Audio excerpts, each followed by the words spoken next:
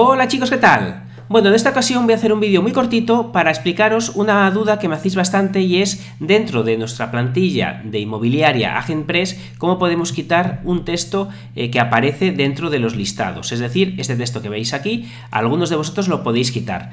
Es un texto que aparece dentro del plugin que usamos para, hacer eh, la web inmobiliaria, pero hay un truquito muy sencillo para poderlo quitar. ¿Cuál es? Bueno, pues lo que podemos hacer es traducirlo y dejar la traducción vacía.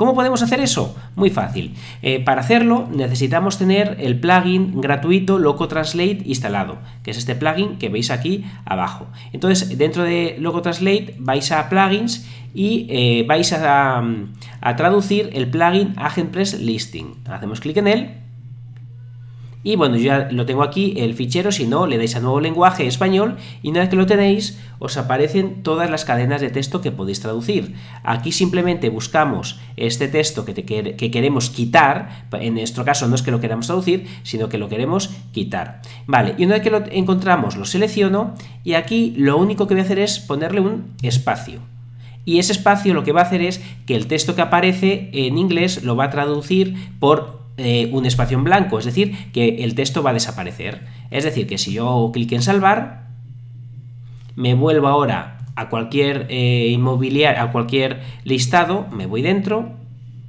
y podéis ver que este, aquí aparecía eh, este texto que ahora ya está quitado.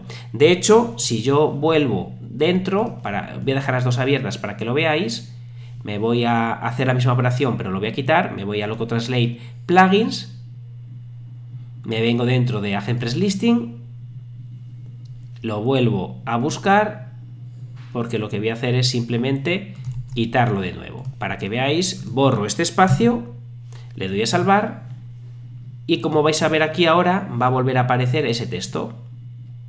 Aquí está. Muchos me habéis preguntado esta duda y bueno, este es un pequeño truco para poderlo quitar. Espero que os ayude. Nos vemos en el siguiente vídeo. ¡Hasta luego!